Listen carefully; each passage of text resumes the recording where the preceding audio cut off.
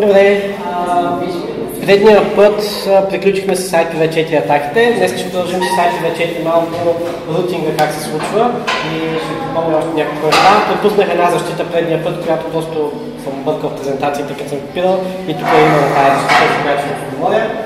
И след това ще поговорим за IPv6. Така, а, защитата за IP spoofing е много интересно нещо, което се нарича Unicast Reverse Path Forwarding Filter. Още познато като reverse path filter или RP filter. Така, какво е това нещо? Идеята е много проста.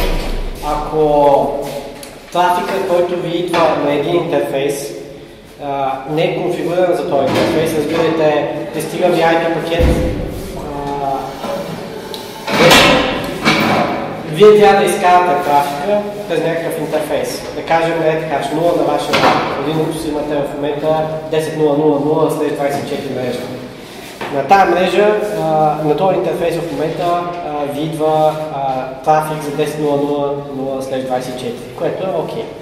Обаче изведнъж, ако се появи трафик за 10.12.0.0 след 24, който не е конфигнат там, и имате възможност а, да дропите този трафик изцяло, защото не е конфигнат на този интерфейс, съответно на там. Дори да имате интерфейс, примерно на ETH 1, 10, 12, 0, 1, след 24 да ви е там, вие, въпреки че сте не връщате през ETH 0 пакет за мрежа, която не е конфигурирана там. Идеята е там, където ви идва трафика, там да се излиза. Тоест там, където е конфигнат, там да се излиза само. Това е много хубава защита за локалната мрежа, обаче реално невъзможна за ISP-та, поради простата причина, че едно ISP а, може да получава трафика за, една IP, за един IP префикс на единия си интерфейс и да го изпраща на другия, защото е по-ефтино да го изпраща през другия. Тоест тази защита не е много окей okay за ISP-та.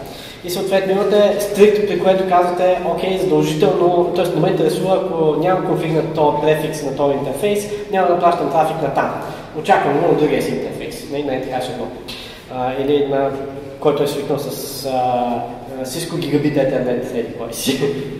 така, а, при Luz имате същата функционалност, обаче а, може да отговаряте, когато все пак на, на машината имате дигнат този префикс на някой от интерфейсите. И имате, тотално го изключвате, когато на машината няма никакъв, не, никакъв префикс, за който да отговорите. Така, то ръбър филтър е доста интересно нещо. Разгледайте документацията повече. И това е проста защита за IP spoofing, не да не се опитва някой да изпраща на грешни интерфейс а, пакети. Това е дори спуфинг вътре в вашата мрежа. И повечето хора казват вътре в фирмената ни мрежа, това не е някакъв мега голям проблем. А, Една фирма, много голяма аутсорсинг фирма в Индия, Wipro, преди една седмица дисклозна един огромен дейта брич, който се е случил първо вътре в тяхната мрежа в Индия. Само, че трябва да разберете, че а, топ 100 fortune компаниите ползват техните услуги за сапорт. Съответно, топ 100 компаниите вече са прецакани заради дейта брича на а, техния сапорт, който е вътрешно в, на, на дейта брича е бил вътрешно в тяхната фирма, което си е проблематично. Тоест, а, Reverse Path Filter е хубаво да си го настроите на вашия си рутер, на, във вашия офис, на всичките си рутери във вашите офиси, ако искате да направите някаква по-секюра мрежа. Ако не ви интересува а, това нещо, можете просто да го изключите и тогава няма Reverse Path Filter изобщо. Reverse Path Filter ми казвате, че на това, което съм получил, на интерфейса, който съм получил, по него аз връщам, или не? Да, по него ти ще върнеш, обаче въпросът е, ако имаш гигабит Ethernet 1, на гигабит Ethernet 1 ти си конфигурирал 10.0.0.1 след 24, този IP адрес. Съответно, префикса 10.0.0.0 след 24 ти е на гигабит Ethernet 1. На гигабит Ethernet 2 имаш конфигуриран 10.12.0.1 след 24. Поред някаква причина имаш хост, който се е преместил от единия интерфейс на другия интерфейс. Сега той си има IP от 10.12.0 нещо си. да кажем 10, 12, 060 след 24. И той изпраща пакетче за 10, 12, 01, което се намира на гигабит Ethernet 2. Обаче ти го получаваш на гигабит Ethernet 1. Това, което правиш, е проверяваш откъде ще му изпратиш ревърс отговора. Разбираш? И ако отговорът е на същия интерфейс, обаче префикса не е там, имаш проблем. Ако отговорът е на същия интерфейс и префиксът е там, т.е. request е дошъл на гигабит Ethernet 2 и отговорът ще бъде на гигабит Ethernet 2, то тогава нямаш проблем. Защото това е направено интерфейс, не там, където е конфигуриран. Идеята тук е, че ако нямаш това reverse path filter, реално някой на гигабит Ethernet 1 може да ти спуфва пакети за гигабит Ethernet 2 и ти ще ги ротираш и заминат навънка. Идеята тук е да не ги ротираш. Нали? Тоест ти да имаш enable на рутинга, т.е. да форвардваш пакети без значение, т.е. базиран на префиксите ти, обаче да сложиш един филтър, базиран на откъде ще мине ревърса за към дестинацията, базиран на това да кажеш, окей, този пакет ще го пусне или няма да го пусне. Това е много чест, чест проблем, когато се сътъпват BGP сесии. Днес ще говорим за BGP и ще го разберете това малко по-точно. Други въпрос за това? Добре, ICMP атаките предния път а, ги споменах, но просто ще ги повторя, защото са а, нещо, което се случва вече постоянно и просто трябва да сте запознати с него. Редиректа, когато изпратите редирект, реално може да накарате някой да мине през вас като рутер, вместо а, истинския рутер в мрежата. след това ICMP е Reachable, както сме тук, може да ви убие а, някаква сесия на протокол от четвърти, четвърти слой. След това с Quench може да ви го забави драстично. Разбирайте, а, нещо, което е, на машина, която е на 1 гигабит, можете да я забавите съвсем спокойно да стане да изглежда, че е на 1 мегабит. Тъй като изпращате достатъчно меседжи към а, клиента, който не към клиента, към сървъра, който изпраща в момента дейтата. Тоест, беше да намалиш ти да помолиш по-малко да ти праща. Да. Идеята е, че ти се маскираш, е тук е така, когато използваш SourceQuench, ти спуфиш IP-то на клиента за пред сървъра. Изпращаш ICMP месеч на сървъра. Го казваш на сървъра, при мен е вече задръстен. Е, спри за мъничко. И ти просто продължаваш да го спамиш сървъра. Сървъра по никакъв начин може да се защити от тази атака, той е просто причина, че той трябва да получи ти ICMP месеч. Това, което правят повечето администратори, отиват и директно спират точно този тип месеч предния път, като ви показах табличката на SMP, сега не ги помня на Исус, но взимате а, reply, който е с quench и а, го спирате точно този. По този начин, този тип атака директно я спирате. Така, съответно обаче, това нещо, като го направите, вашия сървър никога няма да получава тия меседжи когато реално има клиент, който на задръсна на линията, вие ще си помогнете въшката и вижте няма да, да се промени. Така, там вече очаквате от четвърти слой uh, congestion avoidance алгоритмите, сега ако си говорим следващия път за TCP, те да ви помогнат за да uh, решите този проблем. Пак мъдро дискаването е, сега идеята тук беше да намерим най-малкото мъдро по пътя, нали така?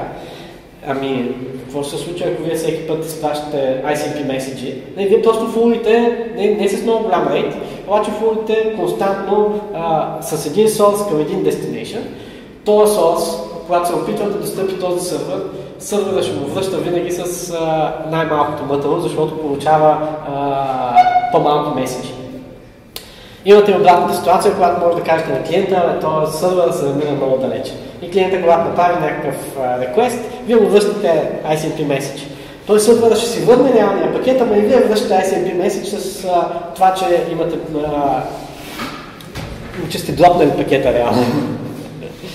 Така, а, прочетете си това в аз ви го казах предния път, прочетете го, наистина е много забавно в Така, а, това го разказах, няма да го повтарям. Някакви въпроси по атаките, някой нещо да не е разбрал. Интересно ми е атаките, то това е по-напред на атаките, които ще има върху MacBook 6.4. Върху версия 6 днес ще ги обсъждаме. Да, просто ми интересно, много голяма разлика е, защото не се... Не, няма, не е много голяма разлика, ще бъдете, че е много близко, даже много неща се повтарят. Просто някакси не сме си научили уроците, като сме правили тези протоколи. Така, а, така, ние че го разгледахме. Сега, днес ще разгледаме рутирането на пакетите в интернет, защото аз предния път ви обяснявах как се случва статик рутинга, но искам да ви разкажа днес как се случва динамичен рутинг, защото в интернет а, 99% от трафика е динамично рутиран, не е статично рутиран. Ние ще разгледаме тия неща, като после ще разгледаме малко redundancy и за да може да разгледаме тия неща, трябва да запознаем с един протокол вече от четвърти слой и ще разгледаме uh, User Datagram протокола или също uh, много хора бъркат с Unreliable Datagram протокол, което не е далеч от истината. А, като ние сме малко назад в лекциите спрямо вашия сайт. Да. И а, искам да питам, аз видях, че има домашни за TCP до което и да. следващото виж за TCP. И то трябваше да е тази седмица. Идеята е, че ние все пак се съобразяваме с това, което сме взели, не с това, да. което се пада. Да, да, да. Все пак. Така. Така. User Datagram протокол. Идеята е, сега ще разгледаме хедъра и после ще ви обясня логиката. Това е изключително просто нещо. Добавяте само source port, destination port, дължина на пакета е 4 И все това ви е дейта. Това е което ви е хедъра, който вие го слагате тук е така който вие го слагате в uh, Ethernet frame, който е в IP пакет, който в IP payload слагате тук е така в началото UDP header и payload вътре. Не, изглежда простичко, сега да разгледаме как се изглеждат нещата. Предният път ви обяснявах, че а, ако имаме само IP, ние реално ще имаме само един application, който може да работи. IP е тази тръба, е тази голяма тръба, която сме сложили тук. Тая тръба, ако искаме да свържем един браузър с един веб сервер, той ще се върже. Обаче, когато искаме да свържем един mail клиент, тъй като тази тръба в момента е заета от коннекшена, който е между браузъра и сервера, няма да може да я използваме. Няма как да ги използваме. Обаче е голяма тъпа тръба. Реално може да направим малко апгрейд тук и да разцепим вътре, да шипнем малки тръбички. Сега, тия малки тръбички ние ги наричаме потове в UDP TCP. Съответно, една тръбичка е тук е така, сме кръстили под едно от тази. От другата страна под едно е тук. Тези тръби не са прави едно към едно. Тоест едната страна излизат едни от 1 до 65535 и от другата страна имат такива. Те си за всяка една машина това са тръбичките. Когато вие решите да направите някакъв connection, вие обикновено имате някакъв браузър, който си избира port някакъв, с който да излезе пакетчето и destination port към сервиса, към който иска да се обърне. Имате сервиси, които са с предефинирани портове, за които а, сервиса, когато за първ път са го сертифицирали, са го измисляли, са се обадили на Яна и са им казали, кажете ли кой е първият свободен порт, на който мога да си запиша моето име на сервиса. Съответно, има някакви well-known ports, като порт 80, който се използва за HTTP протокола, порт 443, който се използва за HTTPS и така нататък, порт 22 за SSH, ще ги разгледаме още по-нататък. Идеята е, че ние искаме да направим един connection сега между браузъра и веб сервера. Този connection реално се избира една табличка от едната страна и това излиза една табличка от другата страна.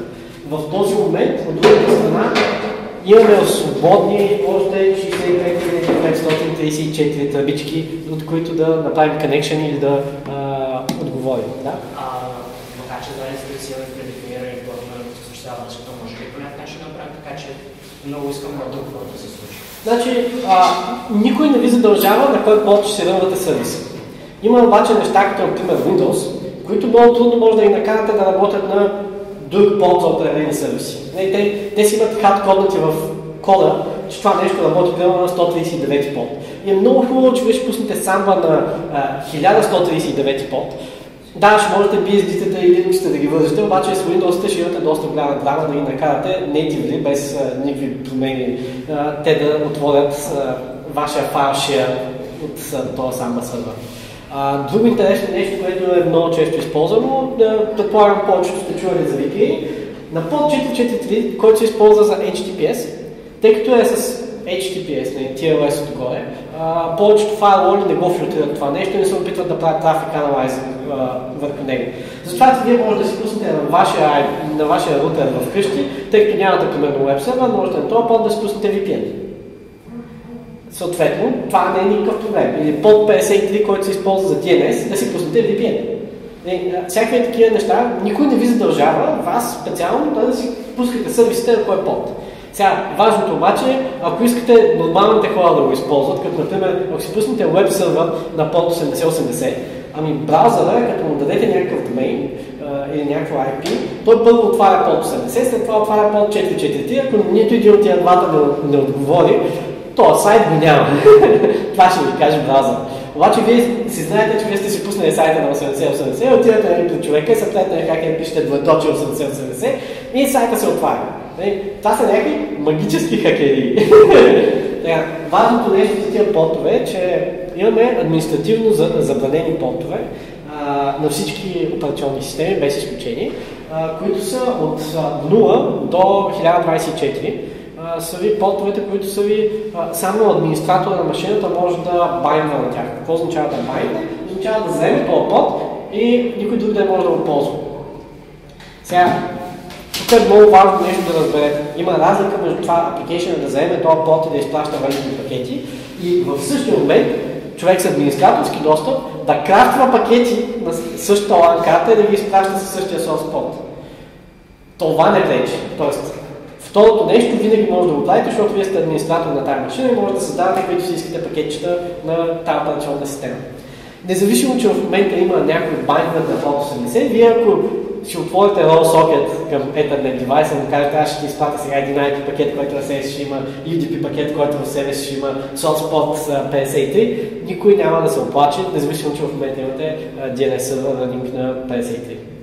DNS сервера няма да разбере, че това се е случило, защото той не работи на ново Ethernet девайс. Така, в случая тук съм показал нещо много важно. Веб сервера ни слуша на два порта едновременно. На 80 и на 443. Браузърът ни там е издал порт 2085. Това е важно, защото от дясната страна, там където е браузър, реално имаме а, избор на портове от 1024 до 65535. Проблемът е, че реално не са толкова. В повечето операционни системи това е намалено на около 20-30 хиляди порта. Те са от 1024 до, да кажем, 27 хиляди, 32 хиляди, нещо такова. Съответно нямате целият порт range. Това ще го припомня, като говорим за TCP и атаките на TCP, защото е много важно за да видите колко намаля реално вероятността вие да оцелите соцпорта, който е използвал а, клиента. Защото този път 2085 трябва да се избере на рано. Преди това нещо да се смени, което беше да кажем преди 10-15 години, реално тия портове се използваха sequentially, т.е. стартирате си компютъра, първият порт, който се използва е 1025. След това следващия connection се прави 1026. И така, докато стигнете до там 30 няколко хиляди, и си ротейтвате пак от 1025. Което е много тривиално, после да го гесите какво се случва. байнат, ясно, че не може да бъде заед за някой, който е извън администраторски права. Но ако не е заед никога услуга, може да бъде достъпен от нея администратор? Чакай, може ли да... Кое? Ами, Никоя услуга ли? Ами да кажем 770 е порт, който нали в този рейндж администраторски. Да. И той обаче не е, към, към него няма байнат никоя услуга в момента. Да. Може ли някой не администратор да го използва? Не. Трябва ти административни привилегии. А, сега, окей, има ексепшн. Нали, в BSD и в Linux имаме uh, capabilities от гледна точка на security, на security механизми на кърнела и е възможно да дадеш на unprivileged процес uh, той да се байнва на администраторски портове. Това се прави, за да може unprivileged процеса да му даваш full root access, uh, да му дадеш само да може да се байнде, да се слуша на портчето, обаче да не може да чете root файлове и ако нещо се пребе, нали, да има някаква атака срещу този сервис, сервиса а, го експлойтна, ти няма да имаш local remote root exploit, защото сервисът ти е експлойтнат, ами ще имаш remote нормален потребител експлойт. И сега този потребител, зависимо от какви привилегии си му дал, нали, може и почти нищо да не може да прави този човек. Влязъл е, обаче дори не може и баш да се екзекютне, защото примерно това е черното и там, където се изпълнява, няма, няма баш. Нали, е, това, за това говорим. Добре, UDP, ще ви върна обратно на хеда. Няма информация за кой пакет след кой идва. Съответно, когато ползвате UDP протоколи, или вие в е тая дейта част, ето тук е така имплементирате а, или в е тая дейта част имплементирате подредба на, на пакетите и също fault tolerance, т.е. проверка, че сте изгубили някои пакети и така нататък. и а, повторение на пакета и така. Каквото се сетите като резилиенс на дейтата, всичко вие трябва да го имплементирате. Или правите така протокола, че респонса винаги се събира в един пакет. Така, колко е голям това пакет? Имаме а, 32 бита тук, и още 32 бита тук, 64 бита, по-малко, а, от а, IP header. IP header, като махнахме, беше 1400 а, не, 80, 1480 се четеше.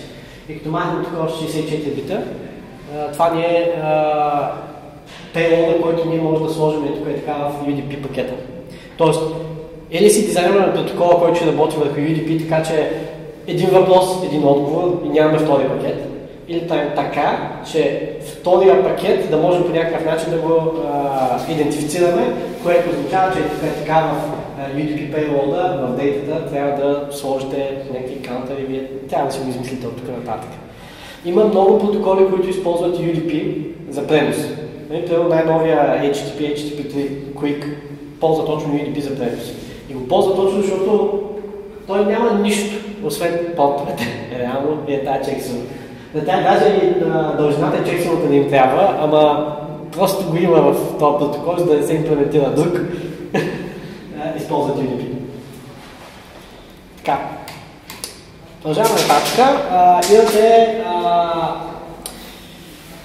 Рутинга ви работи на база на рутинг таблица. Рутинг таблицата разгледахме няколко пъти вече, в която имате префикси, в които може да имате една рутинг таблица, която е след, със следните три префикса.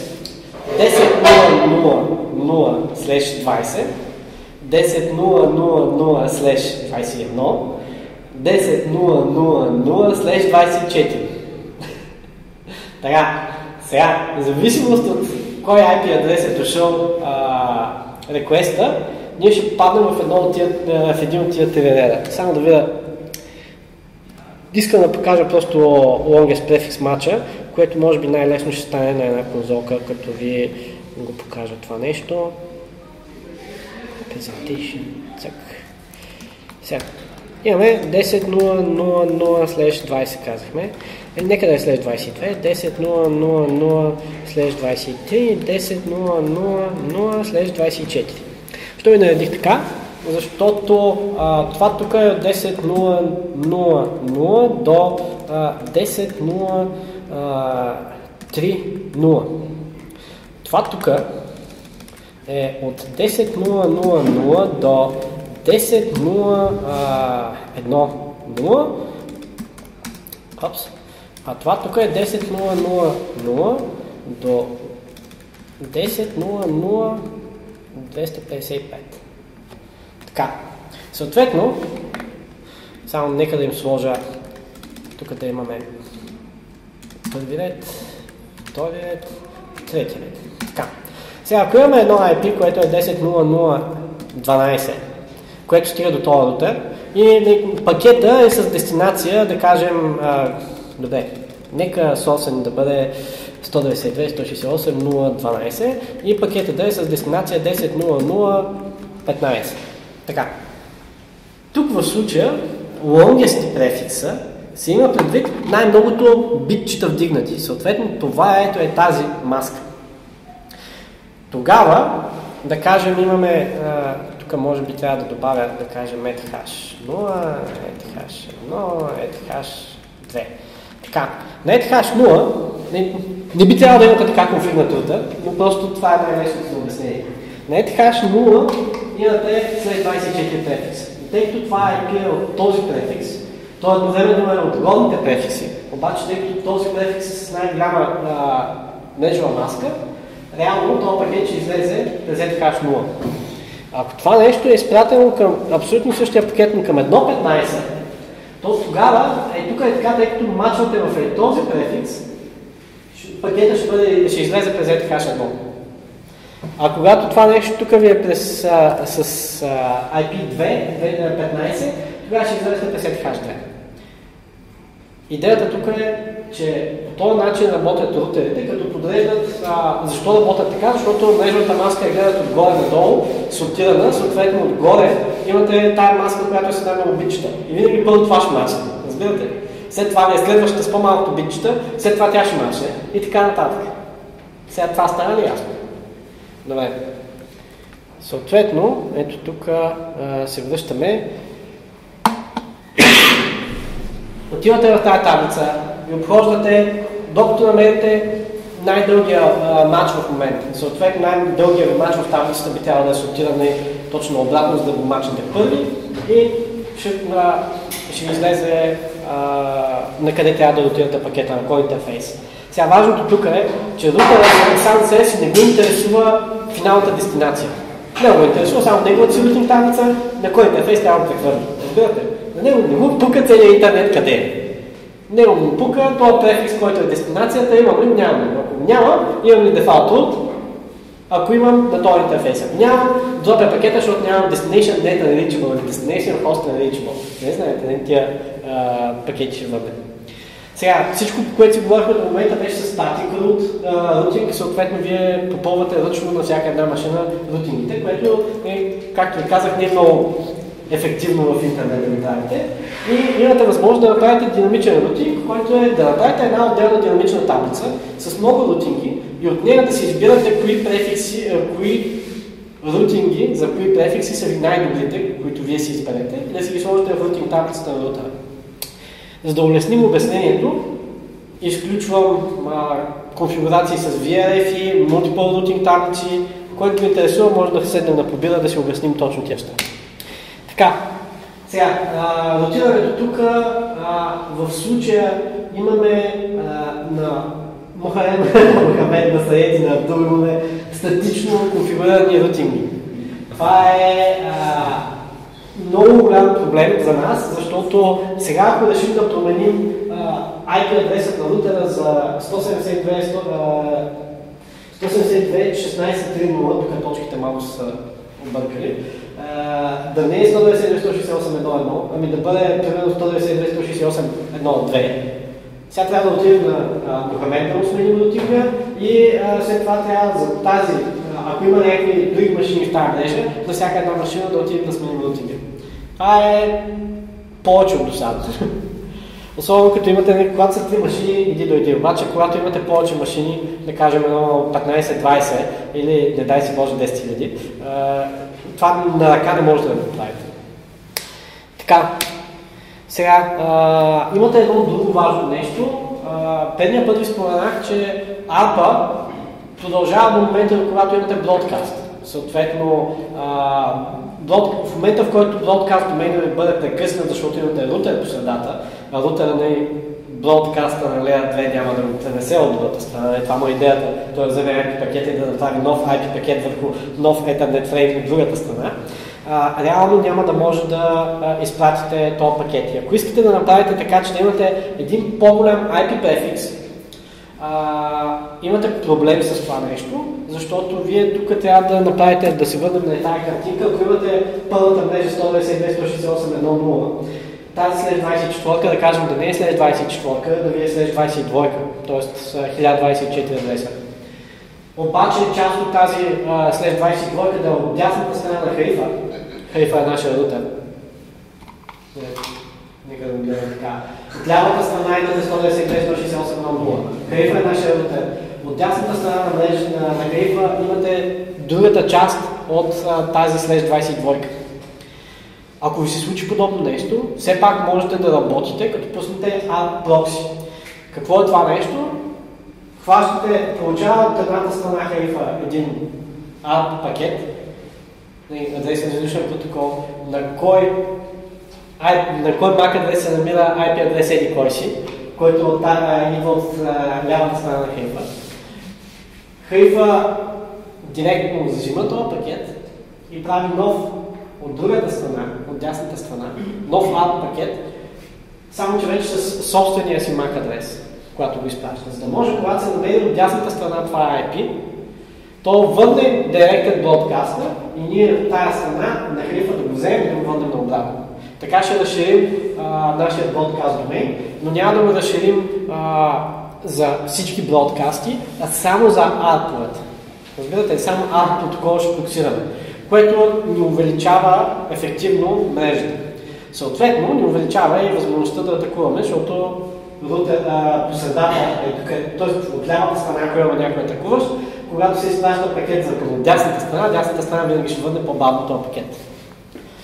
Така, а, за директите ви обясних. Така, Virtual Router Redundancy Protocol. Това е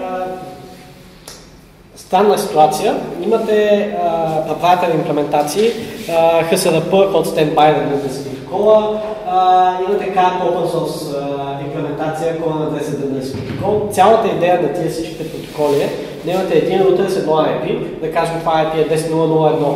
Обаче имате две физически машини, които си имат всяка собствен мак. Това, което може да направите, в зависимост от имплементацията, имате два варианта. Вариант едно, а, изчезва ви един рутер, това, което правите е вдигате IP-то 10.0.0.1 на втория рутер, след което веднага изпращате uh, gratuitous app към всички свичове с IP, MAC адреса на 10.0.0.1 е този MAC адрес, моят новия MAC адрес. Това е вариант 1. Вариант 2 е, а, не къса да бъде поддържа това нещо, а, можете да си направите виртуален MAC адрес. Не, такъв, който му слагате административ бита да е едно, не, да се знае, че това е създаден, а не физически MAC адрес. Правите си един такъв MAC адрес, асайвате му на, на IP 10.0.1 и сега, когато отпадне 10.0.1, другия рутер си вдига IP 10.0.1 със същия MAC адрес, отново се прави gratuitous app. Защо?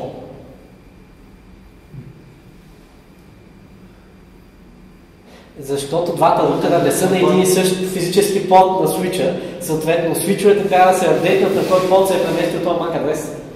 Иначе те знаят, че този MAC адрес е на под 2 на свича, обаче е отишъл на под 1, изведнъж на свича трябва да бъде апдейтнат, иначе той ще плаща всичките дейта гради, всичките uh, Ethernet фреймове към, uh, към под 2. Тоест, без да чуеш сапа, сложна работа, но uh, идеята е, че няма да апдейтвате хостовете, а ще апдейтвате само реално uh, свичовете. Тоест, Graduation апа сега е с същия MAC адрес, който е бил IP адрес 10.0.1 и преди малко, само че е от друг порт. Това е единствената разлика. Ако в случая, примерно, се премести този IP адрес да отиде директно на друг свич, то тогава другия, първия свич, от който мигрираме, реално той трябва да се апдейтне, че не е локал този MAC адрес, е пресъплен към, към другия свич. Затова се праща Graduation Broadcast uh, app. Така, WordUp има няколко имплементации, в момента версия 3 поддържа IPv6 и IPv4. Аз лично съм ползвал само с IPv4. има няколко стейта, за които искам да ви разкажа. А, това е Initializing Group, започвате с... А, нека го направим така. List of Initialize State. Пускате апче в мрежата да намерите отсрещната машина. VLP-то конфигурирате, като му казвате а, два IP адреса, които са на, един, на двата ви рутера. VLP-то вижда кой е local IP адреса пред него и кой е другия IP адрес от другата страна. И след това му казвате кой ще бъде IP адреса виртуалния, който ще го местите между двете машини. При което а, в initialize state той проверява къде е дигнат в момента този IP адрес. Ако никъде не е вдигнат този IP адрес, се избира на коя от двете машини, което е на първата, която отговори. Реално винаги това ви е локал машината. А, дигате го, правите от мастер, при което той си конфигурира IP адреса на интерфейса, на който сте го казали и а, изпраща вече с app. Другия автоматично става бекъп и това, което се случва между мастера и бекъпа е а, постоянно да се изпращат пакетчета на много малко време. Тук си говорим на а, милисекунди да се изпращат а, пакетчета. И в момента, в който една брой пакета, тук вие си го дефинирате това нещо, една брой пакета бъдат дропнати, т.е. не бъдат отговорени, то бекъпа автоматично става мастер. При което, когато се върне мастера, той влиза в initialization state, след това проверява дали този IP адрес е вдигнат някъде, да, вдигнат е вече на бекъп сервера, който вече е станал мастер, и този съответно става бакъп. Ясно? Е, супер тривиално е цялото нещо. Само, че на един свич вие може да имате повече от два рутера. Съответно, може да искате да пуснете повече от две връда на път.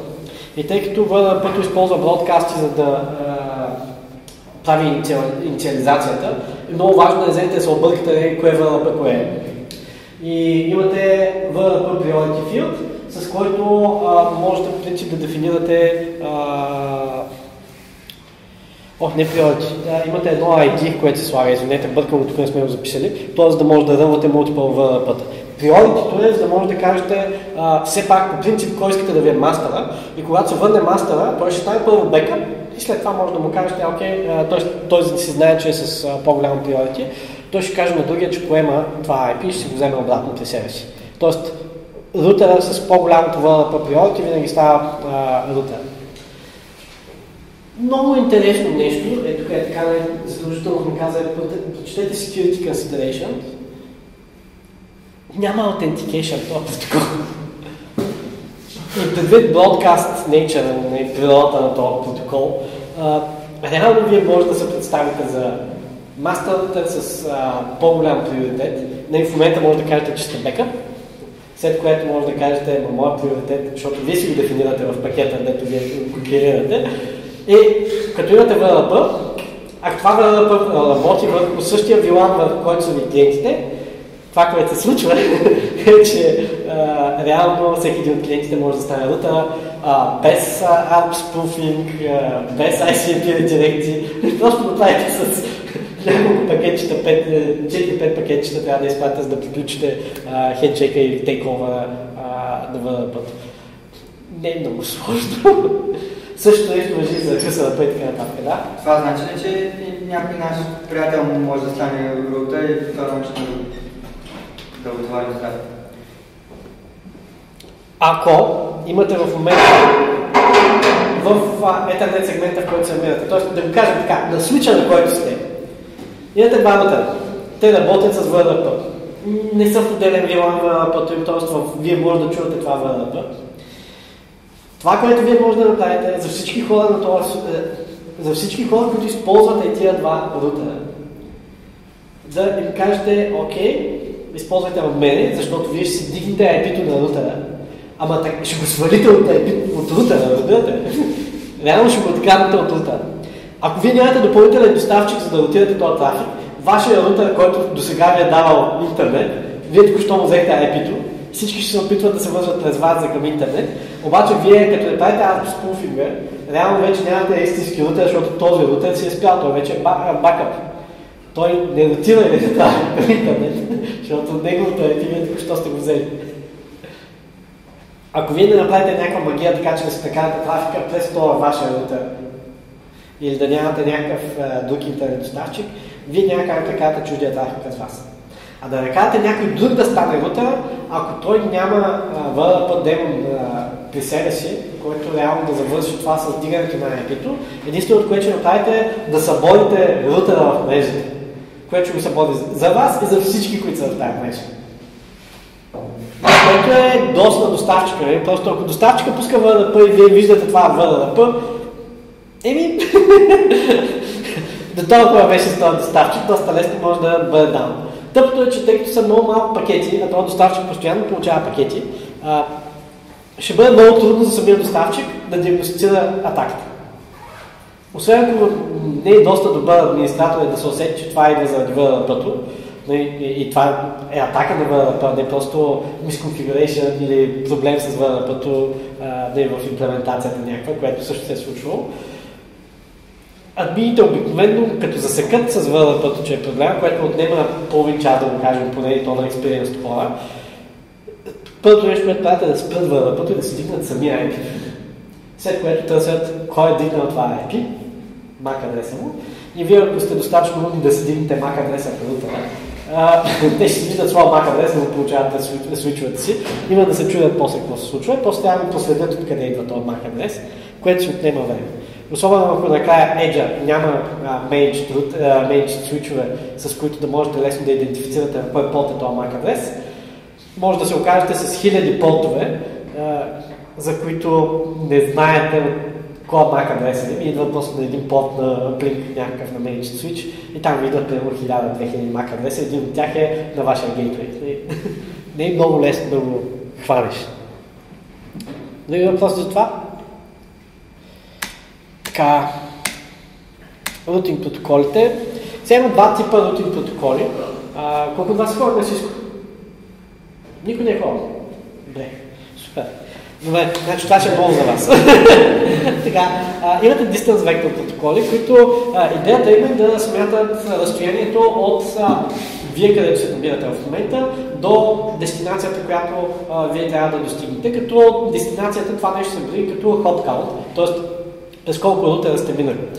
Има някои distance vector протоколи, които ви позволяват да използвате не само hop count и допълнителни неща, като бендовите на линка ви или а, забавянето в линка ви, но а, най-разпространените използват hop count.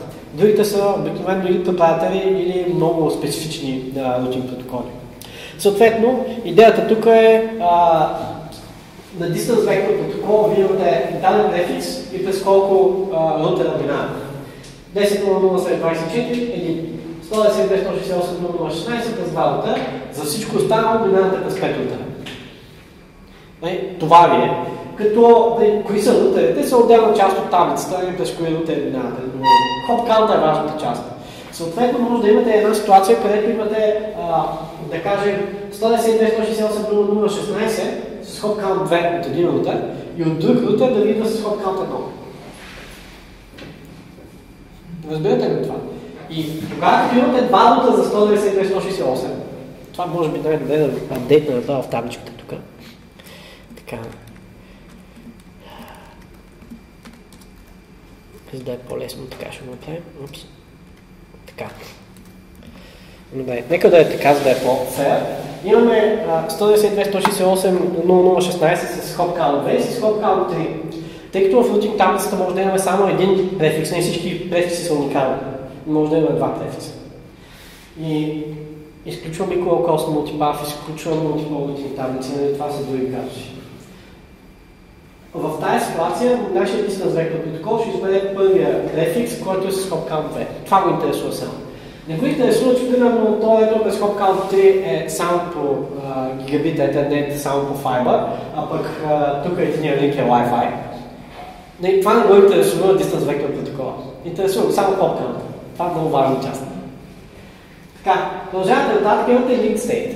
Link state са друг тип протоколи, които използват а, Опитват се да направят граф на всички пътища, които имате и а, да намерят най-близкия път, като използват GX алгоритъм.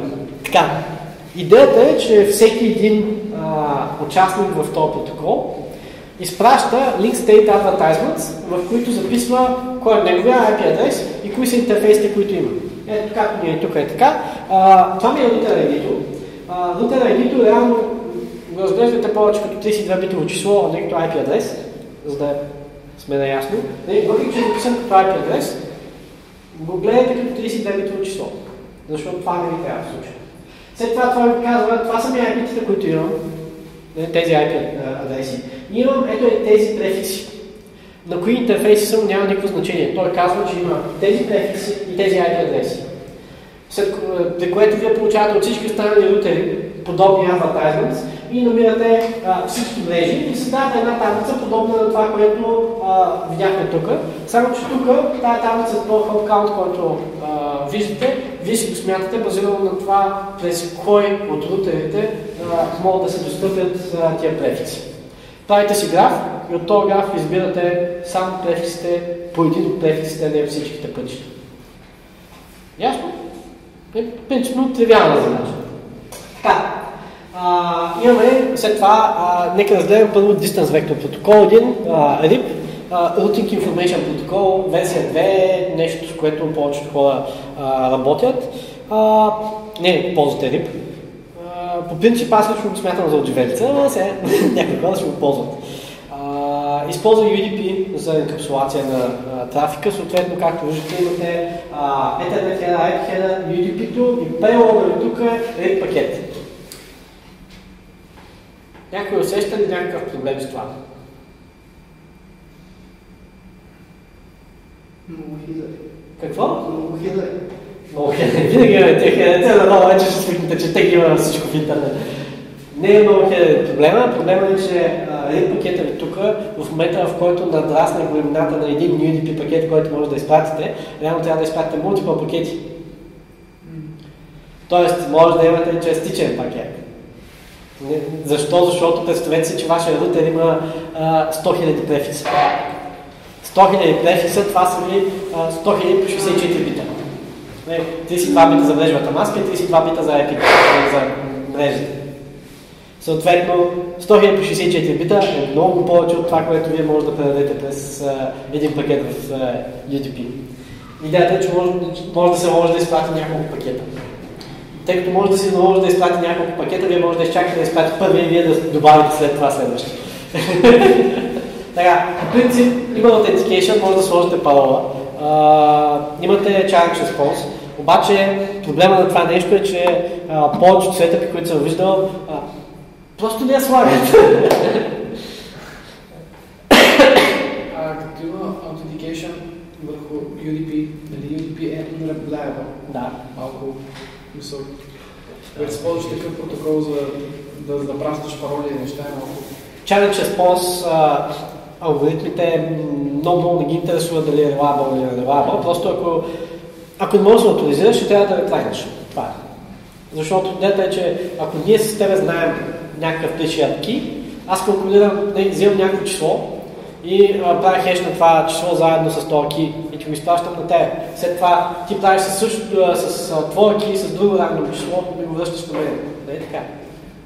И други въпрос е, ако се получи така, че киловите, които се разменяме са прекалено големи не, не влизат в един UDP, един UDP пакет, какво правим? Ами, не са. а, просто дефиницията в RFC-тата за authentication, поне това са сетили хората, че трябва да влиза вътре. Съответно, хешовете, които се използват, не имат повече от а, 1400 байта. Ма и 1400 байта за хеш е много. Не повече са, примерно 512 байта може да ползваш. За хеш сума. Така. А, OSPF е друг протокол, който е lead state протокол. Изпращат се, а, той използва мултикаст. Много важно е това, че ползва мултикаст, защото ако свичовете ви поддържат мултикаст, нямате OSPF. Имате само едно свичле, което чупи цялата работа, нямате OSPF.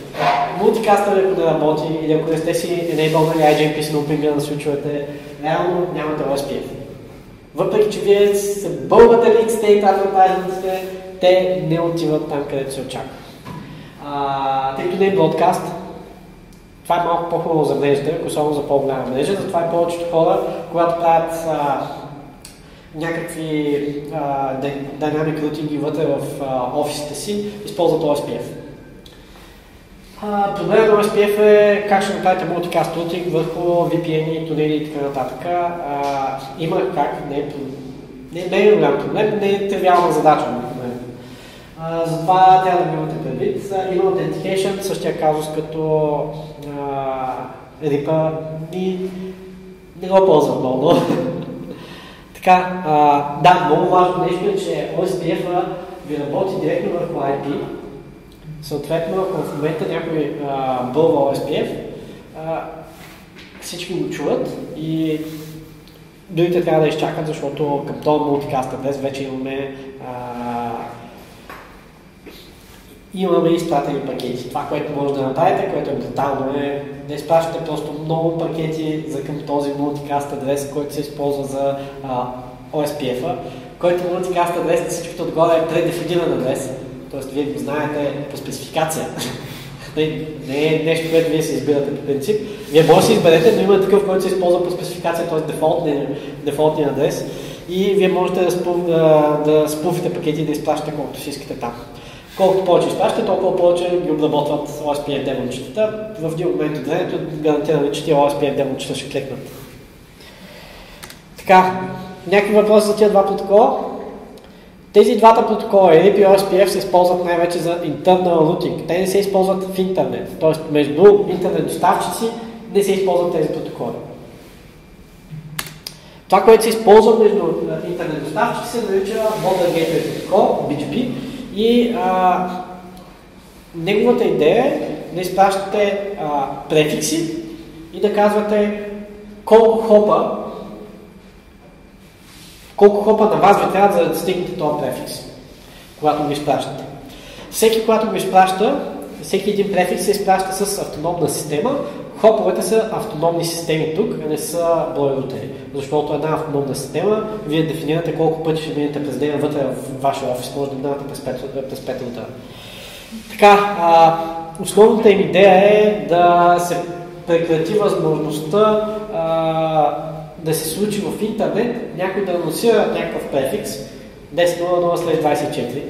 Да кажем, че този префикс не е добър, защото е от RFC 1918. Да, да ползвате едно 80.00 след 24. Това префикс го анонсира един рутер от автономна система 100. Това, което ще се случи е, че всички рутери в интернет ще получат неговия анонс и ще видят автономна система 100. В момента, в който а, от друго място този рутер е анонсирал същата 80.00/24 с автономна система 100, идеята е да не се случи така, че тези двата рутера, тези две места, които анонсират 80.00/24, да си предават пакетчето един към друг. Това се случва, но има обидния да ушки да го превентне. Освен ако сте доста гениални, можете да го направите да... А... вие можете да излъжете протокола, за да създадете такъв луп. Изрично. Иначе протокола се опитва подобни неща да не му се случва. Имате Border Gateway протокола разграничава вътрешен рутинг за вас и екстернал рутинг за вас.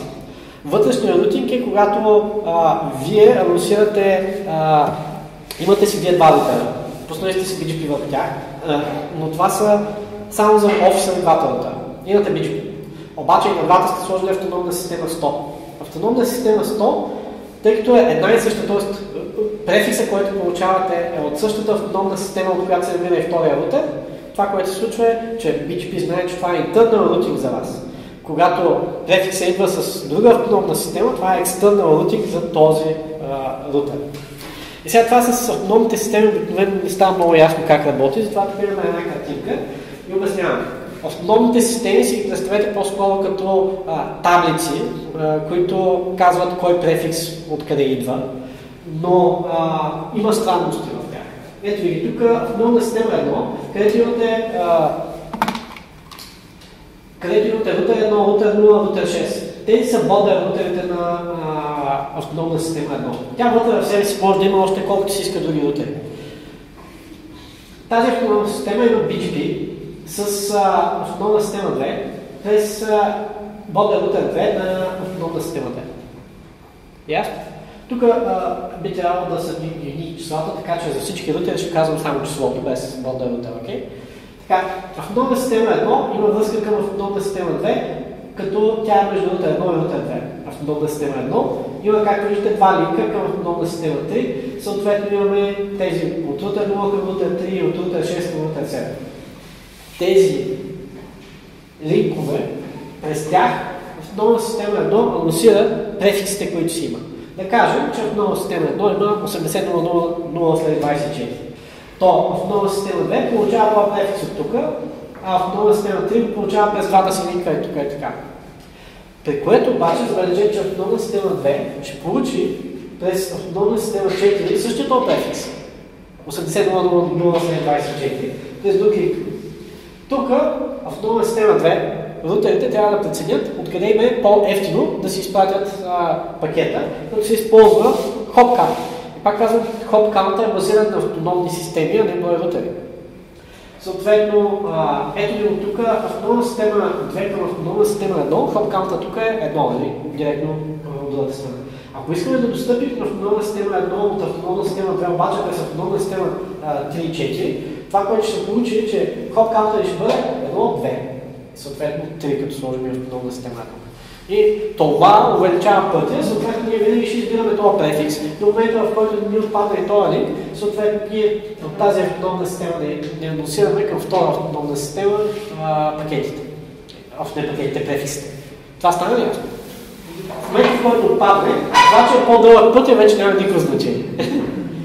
така, а, тук, когато имаме два линка, а, тези две автономни системи, ако искат, могат да направят нещо много интересно, могат да направят тъй като линковете по средата нямат, а, не са с, да кажем, а, еднаква латентност. Това, което може да направят двете е да кажат, ние ще използваме equal cost multipath routing, което означава, че през а, двата линка едновременно ще се изпращат данни за към двете, а, между тия две автономни системи. За префикса 80.0.0/24 ние може да изпращаме едновременно пакетите с рутер 0 и през рутер 6. Това е важната част. Това обаче може да стане само когато тези два имат горе-долу еднакво забавяне и са горе-долу еднаква скорост. Под горе-долу еднаква скорост разбирайте не разлика 1 100 гигабита или 100 мегабита 1 гигабит, а по-скоро запълването на двата канала е а, и 20 гигабита, но запълването им е горе-долу еднакво, да кажем, по 500-600 мегабита в момента. Тогава вие може да направите equal cost multipath. Ако запълването поради някаква причина на единия линк е по-голям от другия, то единия линк ще направи по-големи забавяния на пакетите и ако сложите equal cost multipath, това ще бъде голям проблем за аудио и видео сетъпи. Така, а, ето тук как изглеждат някакви неща. А, имаме от Router 3 сме получили този префикс, който минава през автономна система 3, през автономна система 1 и а, стига накрая в автономна система 2. И от Router 5 сме получили този префикс, който минава директно през автономна система 2. Избираме без path, selection се използва един много прост алгоритъм и а, съответно а, избираме един от тия два префикса. В момента, в който да кажем този префикс изчезне от таблицата, то автоматично ние ще попълним другия. До момента, в който всички префикси, които имаме в таблицата за тази, а, за тази мрежа изчезнат, ние в рутинг таблицата на рутера си ще имаме един префикс, който минава от някъде. Ясно? Когато обаче всичките, т.е. ето и тези пътища, главната част, е таблицата, която ние събираме от всичките рутери, всичките анонсменти. А, когато нямаме нито един, а, нито едно entry тук, нищо няма да имаме в, нищо няма да влезе в рутинг таблицата на рутера. Тя, рутинг таблицата на рутера е отделна таблица. Не, това трябва да го разберете. Рутинг демона, в случая BGP или OSPF или RIP, си пази своя рутинг таблица. Тая рутинг таблица има възможност да има multiple entry за един същ префикс с различни или еднакви напълно автономни системи тук. И вие трябва да го изберете, а, трябва да си изберете един път. Сега в случая на BGP имате допълнителни неща като local preference, вие може да си кажете а, с какъв приоритет, не, с какво желание искате да вземете даден префикс и вие може да кажете, мен не ме интересува, че тук е само един рутер. Другия ми път е по-добър и затова един път ми е по-ефтин. И затова аз на него ще го сложа local preference примерно 200, а на това ще го сложа local preference 100. Каква е идеята тук? докато а, този префикс съществува в routing таблицата на BGP-то, аз ще го взимам него и ще го слагам него в routing таблицата на рутера. В момента, в който той изчезне от routing таблицата на BGP-то, то тогава, само тогава аз ще избера другия.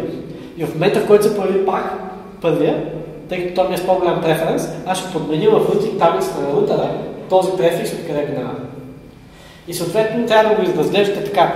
Имате статична рутинг таблица, която се променя динамично от динамичния протокол, когато той избере нов префикс. Избира го и го слага в рутинг таблицата, която е статична, да я променяме, освен ако рутинг протокол не я промени. Това е идеята. Вие не я пипате. Да? Е, това, ако ние сме статично хаквали ние, нали, към, към кой префект да се включваме. Това означава ли, че ние искаме от този да се включваме и това е? Смисъл, не искаме да се подменя. Много е странно, че динамично може да подмени. Не, идеята тук е следната. Ако статично ти си забил флутинг таблицата на рутера, 80.000 след 24 ми е на, на гигабит Ethernet 1, това е статичен рут и освен ако не си настроил нещо а, специално на рутера, а, този рут е винаги с максимум а, local preference. Сега, в момента в който обаче го изтриеш това от рутинг таблицата на рутера, тъй като в рутинг таблицата на BGP имаш други два префикса, един от тия два префикса трябва да влезе там. А ако нямаш статичен рутинг, никакъв, нищо, което ти си забил ръчно, то един от двата трябва да влезе до момента, в който има някакъв префикс в BGP таблицата. Не? Така, това е идеята на роути. така, може да слагате доста полисита. Как става предаването на данните? Еми, вие казвате кои префикси от коя ваша автономна система ще бъдат, ще бъдат анонсирани. И вие имате unicast TCP трафик, BGP работи върху TCP, TCP няма да го обяснявам сега, следващата лекция. Та имате unicast трафик между а, вашата машина и другия рутер на а, доставчика. Това е един connection. Вие го изпращате, връщаме се тук, съответно е тук както е рутер 1 и рутер 2, те имат един TCP connection между двата. Рутер 1 изпраща някои префикси, които се намират в автономна система 1. За всеки тип префикс слага автономна система 1, автономна система 1, автономна система 1 и ги изпраща на рутер 2. Рутер 2 ги взима и ще добавя в неговата си рутинг таблица, обаче тук това не е рутинг таблицата на рутера, а на BGP рутинг таблицата, т.е. всичките префикс листи, които имате. И вече, ако реши по local preference, допълнителни полиста, които сте си направили филтъринг и така нататък, ако реши, че ще използва този префикс, го забива в рутинг таблицата на рутера. Иначе рутера тук, BGP demo, което ще бъде в а, този рутер, той само ще получи анонсмента от а, рутер 1, но ако има по-добър или статично забит рутинг, този рутинг, този префикс няма да влезе в рутинг таблицата никога. Тоест нещо като кеш за интерфейси, смисъл. Не, не е кеш, реално това ти е... Те са две таблици, вие ги гледате като две таблици. Едната рутинг таблицата на рутера, т.е. базира, това са префиксите, по които ти рутираш. Имаш друга таблица, която е BGP-то, която е префикси, които са, примерно, един префикс може да го имаш и 100 пъти там, по просто причина, че си го получил от 100 други рутера. Не така. Съответно, получаваш ги тия префикси и а, ти трябва да вземеш решение, базирано на всичките редове в тази BGP таблица, кой от всичките префикси ти е най-добър, за да го шипнеш него в рутинг таблица на рутера и да почнеш да рутираш трафика по него. Тук е много важно, че това нещо се случва с някакъв дилей, защото те се деливат много а, префикси. В момента Global Routing таблицата е 570 000 префикса. Тоест, когато получавате Full BGP таблица, на вас се наливат минимум 570 000 префикса. Следващото важно нещо за BGP е, че а, Global Accepted Rule е, че префикс по-дълъг от след 24 няма да се предава в Global Routing таблицата. Тоест, всяко едно ISP трябва максимум да а, дава префикс от след 24. Ако може, дори да а, анонсира по-малки префикси, тип слеш 22, слеш 20, колкото се може да агрегира повече IP мрежите, за да се намали рутин таблицата. Проблемът е, че последните години, откакто IPv4 да свършиха IPv4 адресите, все повече и повече доставчици и клиенти разцепват тези по-големи префикси, които имат, на по-малки такива. И тази таблица става огромна. В България специално имаме едно нещо, което се нарича BG Peering. И в BG Peering имате дори префикси от типа на slash 32, т.е. един IP адрес. А, но този реално не се изнася извън България, т.е никой няма да видите този префикс slash 32 някъде извън България. Но в България няма никакъв проблем да си го достъпите. Просто ние работим като, ние си имаме като локал интернет, нали, така да го кажем, островче в интернет, където си предаваме малко по-специфични префикси. Сега много интересно нещо тук е, че ако имаме следния казус, нова система 3 ни анонсира 80.000 слеш 22, слеш 22 префикс го анонсирам всички до теб. Аз от автономна система 2, е тук е така на другия край на картата, мога да взема и да анонсирам, тъй като всички ми вярват в момента, а, мога да анонсирам 80.000 след 24. Тъй като а, това е различен префикс, нали, в BGP таблиците на всички вече ще се появи 80.000 след 24 и 80.000 след, 20, след 22. Така, съответно след 22 е по-малък префикс.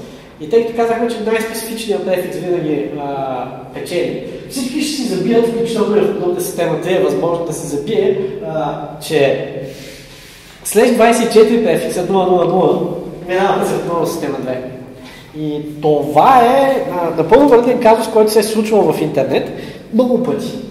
Понякога се случва заради а, нали, реална грешка, нали, хора сме правим грешки, а при някой път е наистина, защото някой иска да го направи. И сега тук сме сложили Пакистан Телеком. Сега това нещо го извадя, защото не, няма как да не го покажа по това нещо. А, да, вързан съм към интернета.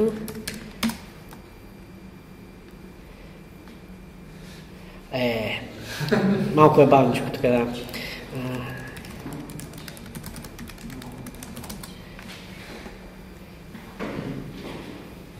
така.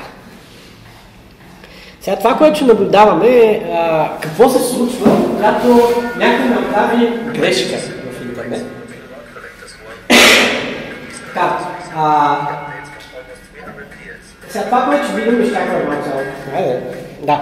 Така, всички числоса, които виждате тук, е така са нови системи на по-големи доставчици. А, това, което се случва е, че Пакистан Телеком решава да анонсират префиксите на YouTube в интернет. Пакистан Телеком са голям телеком, т.е. те са транзитен телеком, съответно всичките им други доставчици им вярват и нямат много филтри за какво могат да анонсират Пакистан Телеком. Това, което се случва е, че а, те почват да анонсират всичко и да виждате как всеки един от утреите изведнъж почва да ходи към основната система на Пакистан Телеком там, 17 там нещо. Така, а, в случая проблема е, че Пакистан Телеком анонсират някакъв по-голям префикс. Дали грешка или не точно, тук не е политически, за да се обсъждаме коректно. Това, което се случва е, че истинската фотонна схема, която там 36561, трябва да си получи обратно дефиците. Това, което се случва, хайде, така, докато се усетят гугълци, това, което правят е, след като да тези проблеми, които се случват на по-големия префикс, те почват да анонсират всеки един, всяка една след 24, която имат за името, губейки по два адреса на всяка след 24, очевидно, но два адреса са по-малко от целият трафик. Нали? Съответно се взимат така и това, което виждате е как всичките рутери конвърджат отдавна до а, другия рутер. Той конвърдженс в интернет не е около 5 минути, от 2 до 5 минути, за да се случи цялото нещо. Тоест, минималният даунтайм, когато се случи нещо подобно, ако успееш веднага да го хванеш, е 2 минути. Минимален, абсолютно минимален. Като в повече случаи това отнема часове, докато установиш какво точно се случва, защото ти получаваш собствения си префикс от някъде другаде, в случая Google най-вероятно получава в Google 3549, виждате. Те вярват на този транзитен доставчик. Съответно, те си получават собствения префикс от там. Да, виждат, че след това това нещо е отишло през другите автономни системи. Ще го за мъничко. Да, те виждат през къде минава това нещо. От 35-49 минава през ето това тук 18, 16, 4, 4, 6, 7. После надолу през тая 29, 14 и стига до 34, 9, 1, откъдето стига до е тук е така 17, 5, 5, 7. Те веднага могат да проверят чия е тази автономна система 17557 и те този анонс, който виждате, автономна система е тази, т.е. техния си префикс, който идва с добавени тази система, тази система, тази, тази, тази и съответно тази, ако е транзитна, и те си го получават това нещо от тях. Те виждат всички тези автономни системи. И сега трябва да се усетят, че в някакъв момент се опитват да им хайджакнат техния префикс. Тоест, те не се опитват, наистина ме хайчакно. така, това, което се случва в интернет е по-брутално в случая. А, с BGP това се случва постоянно. Тоест, всяка година има а, грешки такива или последното нещо, което гледахме миналата година беше а, префикси, които по принцип не са анонсирани в интернет никога. Такива IP адреси. Аз отивам в някой интернет доставчик, който ми дава а, BGP без филтър. има такива. Пускам си там някакви виртуалки или сървъри, след което през тяхното BGP анонсирам префикс, който не е мой. Обаче, който в момента не е никога в интернет. И а, всички го получават, защото те нямат в момента в таблицата си, никой няма да се обърка или да каже, аз го нямам в таблицата, аз го имам в таблицата си, това може да е моят префикс и почне да стане нещо. Това нещо го правят, за да изплащат спам от тези IP адреси. Изплащат спам примерно една-две седмици. шатдаунват префикса. Избират друг, следващия. И така с месеци използват тия виртуални машини и правят тия анонси в интернет. Брутално. А, по тази причина а, в BGP има допълнително нещо. А, така. А, в BGP има а, възможност вие да а, си анонсирате в а, сервис региона, в който се намирате, примерно в RIPE, ARI и така нататък, а, вие да кажете на RIPE, това са моите епита. И това нещо го удостоверявате, като ги подписвате тия IP-та с а, а, получен частен ключ двойка. Съответно, вие криптографски подписвате този запис, който слагате в а, ARI или в RIPE. И това, което се случва е, че по-новите рутери и по-новите рути демони за BGP специално могат да проверят в тези authority дали даден префикс има правото да бъде анонсиран дадена автономна система. И ако няма, директно го дропят. Само, че това е доста костли, съответно това не се случва на всеки от анонсмент. И това отнема доста време понякога. Тъй като явно няма голяма атака, атаката е, е по-успешна, когато има по-дълъг префикс, то а, хората опитвали ли се или какво ги е спирало да направят възможно най-голяма голям префикс? Спира ги, че няма, значи ти може да нямаш филтър за а, кои префикси могат да се анонсират, но имаш филтър за най-дълъг а, префикс, който може да акцептиш. Тоест това, което се вижда е тук е така а, на всеки един от тия рутери, които виждаме, без значение къде се намират тия рутери, тези, когато са бонтер рутери, без значение в интернет къде се намират, всеки един от тях има един филтър, който казва, ако префикс е по-дълъг от 24, филтрирай този анонсмент. Нали, това е идеята, така че, но там нямаш специфични префикси, а то е базирано на дължината на префикса. Докато иначе всеки един доставчик би трябвало да филтрира какво получава. Тоест, ако вие в офиса спускате BGP, взимате си автономна система, взимате си след 24 префикс и анонсирате вашия след 24 префикс. То би следвало доставчика, към който се вързвате, да а, ви направи филтър първо за дължина на префикса и второ да ви направи втори филтър, който да казва вашия префикс е този и ако някакъв друг префикс ви изпратите да го дропи. Идеята тук е доставчика да знае откъде му идват префиксите. Дори в по-големите транзитни доставчици, давам ви пример с, аз работя с Hurricane и с Cogent, и на двата доставчика, когато решим да анонсираме нова мрежа, първо трябва да отидем в Арени, в Райпо да си направим да си направим лот записите, за да се показва, че ние можем, имаме правото да анонсираме този префикс. И второ, трябва да им кажем да си оправят филтрите. Защото ние почваме да го анонсираме, обаче то не се анонсира през тях. От друга страна имаме един друг доставчик, който няма да има, който а, няма филтър към нас за какви префикси може да анонсираме. И този доставчик пък няма филтри към неговите си доставчици за какви префикси а, може да анонсира. Съответно, през този си доставчик ние можем да анонсираме каквото си искаме като префикси в интернет, просто няма да излиза през по-големите ни а. Така, а, основното нещо е, а, че вие може да ликнете информация, т.е. всеки по пътя на тази TCP сесия а, може да я прочете, тя не е криптирана. Тоест, вие имате авторизация в BGP, обаче, примерно в Linux, за да поддържате авторизацията, трябва да се включите в кърнела TCP MD5 signature. това е подписване с MD5 за хеш свободи на TCP пакетите. Което обаче забавя по принцип самия Linux kernel. По тази причина това by default не е включено. Съответно, вие трябва да се включите, за да може да имате парола. Иначе нямате парола на BGP сесията си. данните са некриптирани. Другото интересно нещо е, че вие може да фулдите, ако успеете да гестите една TCP сесия, можете да фулдите пакети с тази TCP сесия, колкото си искате, не към рутерите.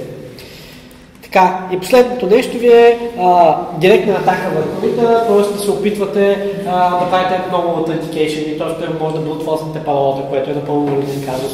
Или пък а, а, просто да му пращате невалидни пакети на а, порта, който е за BGP-то. И в този момент BGP ще почва да обработва всички тези неща, защото то не е сигурно, не, това не е реален пакет.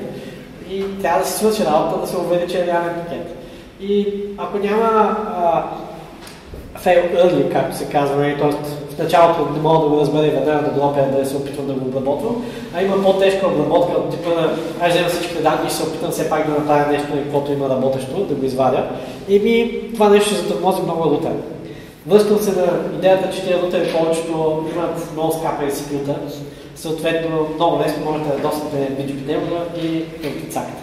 Поради тази причина би трябвало реално TCP сесията а, да е файловата, обаче вие ако успеете да гестите TCP sequence номерата, можете да достате директно с uh, blind TCP spoofing. Така. Има и други рутин протоколи. ISIS и ABLP, и двата са предприятели. Имате лист рутин протокол, който идеята му е много готина. По-скоро географски да отира пакетите, а не базирано на HopCount, както са ние BGP-то. И OpenAir, което е а, Data Center Routing, Facebook излязох с това нещо, мисля, че миналата година беше, не съм сигурен дали не беше по-миналата, но май миналата година. А, Google също си направиха собствен рутинг протокол а, за техния бакплейн, т.е. всичките дейта центрове на Google са вързани с директни връзки, т.е. директни кабели, големи, много по 100 гигабита кабели. И там, където нямат директно дейта център, имат point of presence. Примерно тук в България имат point of presence в София. И когато отваряте YouTube, когато отваряте Google, реално го отваряте тук е така от дружба. Съответно, то point of presence е вързан по някакви линии и а, тя се ротира този трафик към дейта центъра и в, а, примерно, в Дъблин. Не, няма значение къде е дейта центъра. Някъде из Европа. Казва че те могат да ползват BGP вътрешно, за да си настроят мрежата, което те правят, но освен това са решили да направят по-смислен за тях рутинг алгоритъм, който все още не са дали много информация, а, който да подмени рутинга и да стане той по-ефективен вътре в тяхната мрежа. Защото тяхната мрежа е голяма, не? в целия свят е мрежа. Те нямат държава, в която да нямат презенс. Нали, това е много важно. Те може да нямат дейта център във всяка държава, обаче във всяка държава има point of presence. И те трябва да отидат IP-та към всяко място в а, интернет, и в а, всяка държава. И затова до все още ползват BGP, но мигрират към собствен рутинг протокол за по-ефективно, по-бърз convergence на мрежата и по-ефективно предаване на данните. Тоест, когато се напълни някой лик, да използват друг, който да бъде по-ефективен. Това съответно прави а, техните а, мрежи малко по-бързи за предаване на данни. И вие в момента няма може да си купите примерно от Google, за да се свържете по-бързо до щатите, отколкото ако минавате през нормален интерконект, нормален транспортен доставчик.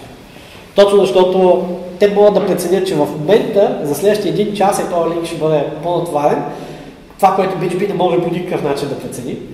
И те да кажат, окей, ние ще завъртим трафика от другата страна, което ще има примерно малко по-голям round time, обаче пък целият бендуит, който ще имате, ще бъде по-голям.